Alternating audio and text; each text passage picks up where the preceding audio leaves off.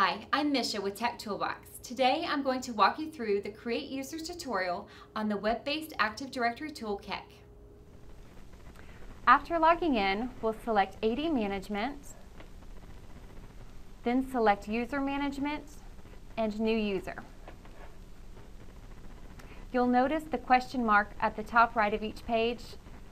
You can click on that for answers to our frequently asked questions. So we'll begin on the Account tab. First thing we need to do is decide where we want to save our new user. We'll do this by selecting the container. And here we can decide where we want to store our new user. For today, we'll go ahead and select Users and click OK. And you'll see that the container name has changed to Users. Next, we'll select our user's name. And you'll notice that the SAM account name has been auto-populated.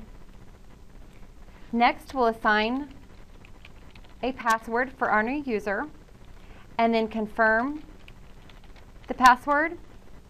And you'll also note that the password will follow the domain password policies.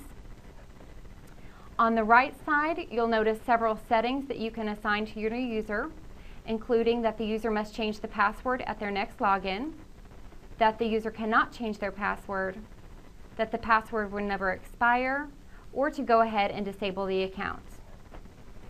Next, we'll go to the General tab, where we can fill out our user's name and display name, description,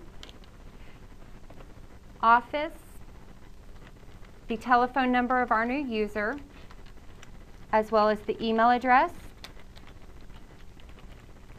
and web page.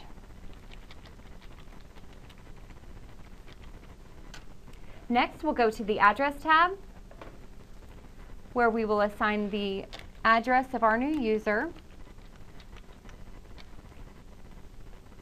including city, state, postal code, and country.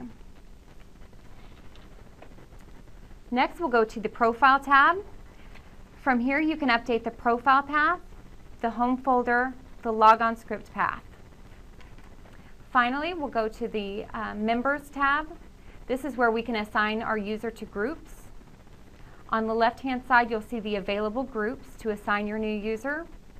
Find the group that you want to select and then click the right arrow. Also, you can see that you can select several and assign them all at once. Then we'll go to the Logon Hours tab where we can assign logon hours for our new user. You'll notice that orange indicates access is allowed and gray indicates access is denied. To change, simply select the block of time you would like to change and you'll notice the color changes indicating the change in access. To change a full day, go to the date and select, and you'll notice the whole day has been changed for access. Finally, we'll click on Save, and your new user was created. This concludes the Create User tutorial on the web-based Active Directory tool KECK. For more tutorials, log on to techtoolbox.com. Thank you.